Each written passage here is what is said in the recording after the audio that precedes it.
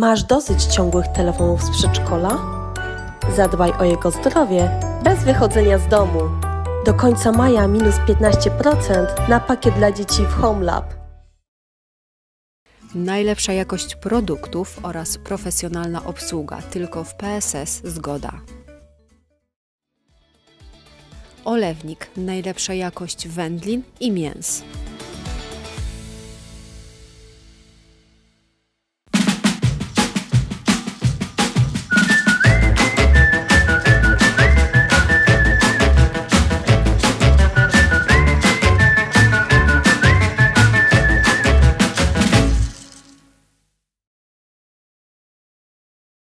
Witam Państwa bardzo serdecznie. Dzisiaj porozmawiamy o żywieniu dzieci. Jak przygotować dzieci do prawidłowego spożywania posiłków, jak przygotować przekąski, które będą dla nich zdrowe i wartościowe. Dzisiaj w programie porozmawiam z Julitą Nowak, dietetyczką kliniczną, która specjalizuje się w żywieniu dzieci. Witam Cię bardzo serdecznie. Witam serdecznie. Opowiem dzisiaj, co możemy zrobić, jak poprawić żywienie dzieci i faktycznie, żeby było wartościowe, bo patrząc na problem, jaki jest, to nadwaga i otyłość się szerzy, a niestety niekiedy przekąski nie wyglądają tak, jak powinny. Więc w dzisiejszym programie przekażemy Państwu e, to, co możemy ze sobą zabrać zarówno do szkoły, czy jako przekąska e, dzieci po przyjściu z przedszkola, czy, czy właściwie szkoły, tak? Bardzo się cieszę. E, jakie błędy najczęściej popełniają rodzice przy żywieniu dzieci? Jak to y, najczęściej się z czym spotykasz w swojej praktyce? W praktyce widzimy, że tak, albo się zdarzają błędy typu, że widzimy, że dzieci nasze jedzą za mało i dokładamy im tych posiłków więcej. Bardzo często jest to pośpiech, który powoduje, że niestety posiłki nie są do końca też wartościowe, bo zakładamy, że nasze dziecko zje w żłobku, w przedszkolu albo w szkole. Nie wiemy do końca też faktycznie, co zjada i najczęściej kończy się to z praktyki bułka e, pszenna, bułka słodka i niestety jako takie słynne zapychacze i nic więcej wartościowego nie mamy. Rodzice dużo pracują, co też przekłada się, że niestety nie zawsze są w stanie przygotować te posiłki tak, jakbyśmy sobie my to wyobrażały, tak? I niestety tutaj e, lecą kolejne produkty typu właśnie słodkie, gazowane, napoje. Zdarza się niestety, że mam też do czynienia w praktyce z dziećmi, które przychodzą, że już piją energetyki, wiedzą jak z tego wybrnąć i co powiedzieć dzisiaj, żeby mogły je faktycznie dostać, mimo że według obecnej ustawy nie są dopuszczalne dla nich. Poza tym e, widzimy, że słodycze są od dziadków e, dodawane, tak, e, w związku z czym też mimo, że mimo różnych takich tłumaczeń rodziców, którzy są świadomi, nie do końca jest to brane na to, że tak powiem, żeby faktycznie temu wnuczkowi kupić banany, czy, czy ewentualnie dać jakieś owoce suszone, tylko idziemy w kierunku jednak znanych e, batoników, czekoladek, ciasteczek. Tak, ja się staram właśnie, e, jak gdziekolwiek my idziemy, to raczej nie kupować słodycze albo jakieś takie bardziej mhm. wartościowe, ewentualnie musiki jakieś dla dzieci, jak są takie mniejsze, czy jakieś zdrowe żelki bez cukru, z naturalnych takich składników, bo sama wiem, że nie lubię jak potem, bo zwłaszcza po świętach zostają torby torby cukierków, jakichś takich czekolad e, od cioci, wujków e, i tak dalej. Więc e, no tutaj faktycznie warto zwracać uwagę, co też dajemy, jak przychodzimy w prezencie tak, takiemu dziecku. Tak, zgadza się i faktycznie tu warto wprowadzać właściwie tak, nawyki, tak? bo to będzie od tego wychodziło. To, co my będziemy przekazywać zarówno i naszym dzieciom, i faktycznie edukować tych dziadków, no zaowocuje to w przyszłości, bo faktycznie zmniejszymy nadwagę, otyłość, a jeśli to, co możemy podać, to właściwie koszyk może być różny, od wszelakich właśnie owoców, które faktycznie nasze dzieci lubią, a nawet jeśli czegoś nie lubią, to warto podać im coś nowego, bo to jest szansa, że się to menu rozszerzy. Mogą to być suszone różnego rodzaju owoce, orzechy, pestki, Idąc dalej, właśnie tak jak powiedziałaś, wszelkiego rodzaju tutaj czy, czy żelki bez cukru, czy batoniki, które możemy sobie już na półkach sklepowych wyszukać, więc tego jest naprawdę szeroki asortyment, a myślę, że czym dzieci będą miały większy kontakt z tego typu produktami, kiedy się wreszcie zaakceptują, bo to jest metodą taką trochę prób i błędów, aż e, faktycznie dojrzą do tego, tak? Tak, generalnie podobno dziecko musi spróbować czegoś 10 razy, żeby faktycznie polubić albo znielubić tę Albo rzecz. ponielubić, to tak? dokładnie. I smaki się y, zmieniają tak naprawdę. Mhm. Tak, mój, mój syn jak był mały kochał kalafior i paprykę, teraz już niekoniecznie, natomiast polubił pomidory. Tak, więc to cały czas ewoluuje ten nasz smak.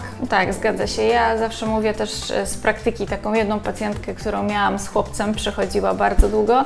E, Nie lubił, wręcz jak to określał, że nie cierpi żadnych warzyw i owoców, a mama ponad 50 razy, to było, bo opowiadała tę historię, ugotowała brokuła, aż wreszcie go polubił, tak? Co prawda miałam dostęp do niego na co dzień, ale faktycznie e, Gotowała go praktycznie każdego dnia, co na początku kończyło się tym, że ona go jadła, ale aż w końcu usiadł i powiedział, że zjadł i przełamał ten strach i faktycznie pewne neofobie, o których też można tutaj e, nadmienić, faktycznie z czasem mijają, tak? Bo one są z różnych sytuacji, w różnych względów, e, że tak powiem, e, po- uwarunkowane i różne czynniki się na to składają, tak? Tak, tak, no właśnie. E, a jeżeli chodzi o kulturę spożywania posiłków, bo to też jest ważne. Zgadza się. No z tym, z tym to jest niestety różnie, bo patrząc na dzisiejszy pęd, styl życia, widzimy, że niekiedy kończy się tym, że rodzice wracają z pracy, bądź chociaż jeden właściwie z rodziców, mama uszykuje obiad, czy odwrotnie tata, a kończy się tym, że jedno siedzi w telefonie, coś sobie patrzy, drugie niekiedy e, potrafi siedzieć i oglądać sobie telewizję i niestety jedzenie, łącząc te inne takie czynności, nie jest najlepszym wyborem, bo wtedy zaburza nam się ta relacja tutaj e, z tym pożywieniem i dzieci, które oglądają bajki na przykład i jedzą coś w tym czasie, nie są w stanie faktycznie stwierdzić, czy się już najadły, czy nie. I najczęściej to jest tak, że sobie po prostu jedzą, jedzą, jedzą, aż, że tak powiem, że się zapychają w pewien sposób niestety i nie są świadome do końca, co zjadły, ile zjadły, co powoduje też i rodzi niestety no przykre konsekwencje, tak, później. tak. No i oczywiście jako drugi też taki czynnik, no te wspólne e, posiłki, chociaż dobrze, żeby znaleźć czas raz, dwa razy w tygodniu, usiąść i faktycznie zjeść chociażby obiad, tak, to już daje i pokazuje relacje i odkładamy wszystkie inne urządzenia, czy rozpraszacze, zabawki, książeczki powinny zniknąć, a my powinniśmy siedzieć i faktycznie porozmawiać, tak, o tych posiłkach. No właśnie. E, dzisiaj przygotujemy co? Dzisiaj przygotujemy e, naleśniczki szpinakowe, niektórzy mówią szrekowe, które będą fajną opcją taką, żeby właściwie spakować w lunchboxa i zabrać ze sobą właśnie nawet do przedszkola, zabrać do szkoły. Można je zmodyfikować pod względem na przykład różnych problemów zdrowotnych, alergii, nietolerancji, nadwrażliwości, bo na przykład wystarczy zamiana czy mleka na napój jakiś tutaj migdałowy, sojowy, czy ewentualnie zamiana mąki i już mamy w zdrowszej wersji, tak? No i drugą opcję E, Zrobimy domową czekoladę, bo w końcu kto nie lubi jej jeść. A wiemy, że te w sklepie, no niestety nie wszystkie są dobrym wyborem, więc jeśli mamy jeść czekoladę bez wyrzutów sumienia, to taką, którą dzisiaj przygotujemy, tak? Bardzo się cieszę. Od czego zaczynamy? Myślę, że możemy zacząć od naleśniczków, Jasne. bo faktycznie tutaj e, będzie to szybka sprawa, zaczną się smażyć, a w tym czasie możemy robić czekoladę. E, więc tak, dodajemy? jako pierwsze możemy sobie e, szpinak wrzucić i zmiksować.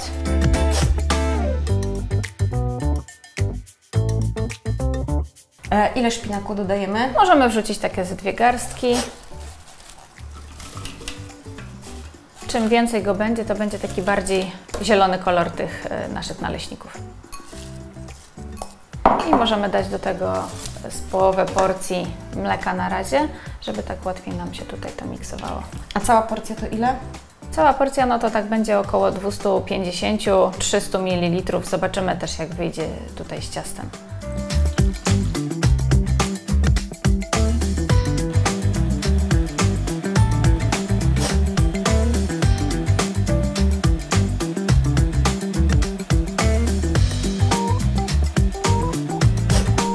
Mamy gotowe. E, Kolejnym składnikiem będzie Możemy wrzucić e, dwa jajka, bo to tak porcja właśnie, na porcję przypadają tutaj dwa jaja.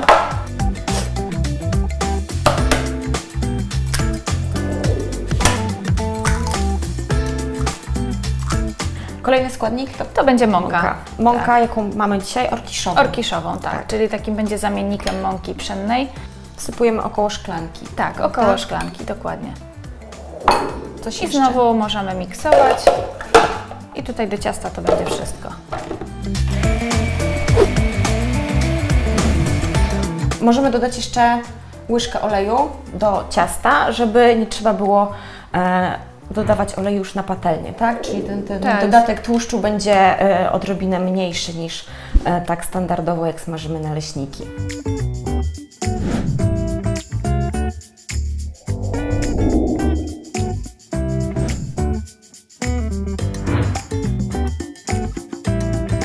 Naleśniki nam się smażą, teraz zrobimy do nich wypełnienie, czyli bananowy twarożek. Wystarczy tak. Około pół kostki. Około pół kostki.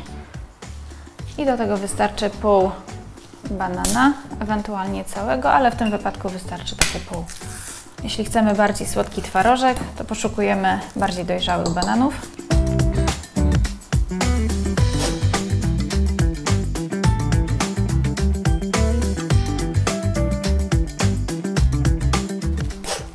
Twarożek mamy gotowy. Można trochę jogurtu dodać, prawda? Tak, można jogurtu. W zasadzie tutaj może, może się też pojawić w sezonie. Można wymienić na przykład na morele, na brzoskwinie, więc e, to nie jest tak, że sztywny przepis, że banan i twarożek. Sięgamy po prostu po to, co jest e, dostępne w danym okresie. Równie dobrze można tu sobie jakieś wiórki kokosowe, płatki migdałowe. Urozmaicamy tak naprawdę czym chcemy. Można i zrobić czekoladowy środek, tak? Przez dodanie kakao na przykład. Jasne. Dobra, zdejmujemy naszego naleśnika. Nasze szrekowe, zielone naleśniki. E, dzięki dodaniu szpinaku my przemycamy tą dzienną porcję, tak? Jakiś Tak. tam warzyw. E, do tego ma dużo e, witamin i minerałów szpinak, e, więc e, tutaj fajnie możemy to przemycić e, dla dzieciaków. One będą zadowolone. I teraz możemy tak nałożyć nasz przygotowany twarożek. Tutaj również podajemy ilość taką, na jaką tak naprawdę indywidualnie chcemy więcej, mniej. Nie ma określonej gramatury.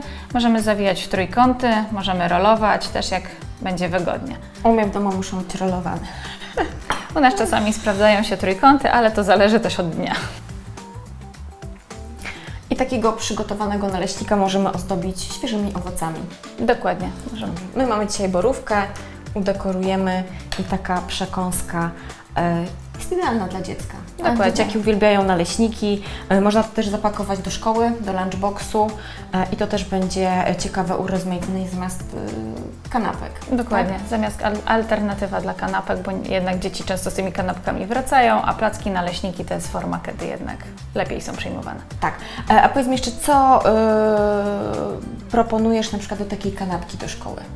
Może być tak, chudy twarożek, tak jak tutaj mamy, ale również e, produkty mięsne są tutaj wliczane.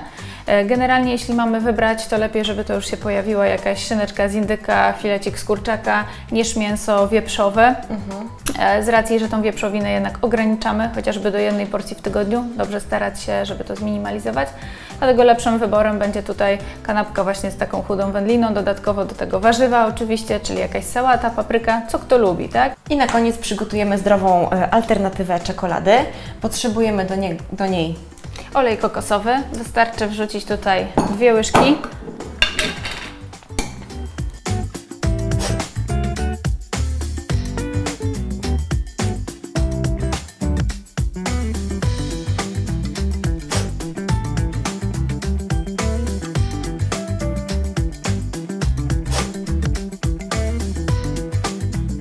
Dorzucamy do tego też dwie łyżki kakao. Jakie są zalety kakao? Kakao będzie oczywiście tutaj takim mm, dodatkiem, e, można rzec, lekko i smakowym, ale i pobudzającym. E, Też e, kakao będzie oczywiście poprawiało nasz nastrój, tak? Dlatego to z tego ta nasza czekolada słynie. I oczywiście, żeby teraz to przygotować, jeszcze potrzebujemy około 50 ml mleka i to wszystko musimy podgrzać na kuchence do rozpuszczenia się składników. I wystarczy później dodać tylko miodu do osłodzenia. I dodatki wrzucamy. I dodatki wrzucamy, tak. I później do całej rozpuszczonej masy, co mamy tak naprawdę pod ręką. My dzisiaj co prawda mamy nasiona chia, mamy e, również borówki, które zostały, czy e, orzechy nerkowca. To wszystko możemy dać do tej czekolady, mieszamy, w foremkę przelewamy całą masę do lodówki na około 4-5 godzin i wyciągamy naszą gotową czekoladę. I to jest to wszystko. Dobrze. My za chwilę przygotujemy na szybko taką masę. E, Natomiast pamiętajmy, że e, należy się badać przynajmniej raz w roku. I e, dzieci od małego też powinny takie badania przejść, badania z krwi, ponieważ to szybko może zdiagnozować nam różne choroby czy niedobory, które będziemy mogli dietą uzupełnić. Zapraszam do skorzystania z pakietu Przegląd zdrowia dla dzieci. Wszystkie przepisy i porady znajdziecie na naszym fanpage'u. Do zobaczenia w kolejnym odcinku. Dziękuję bardzo Ja za również rozmowę. dziękuję.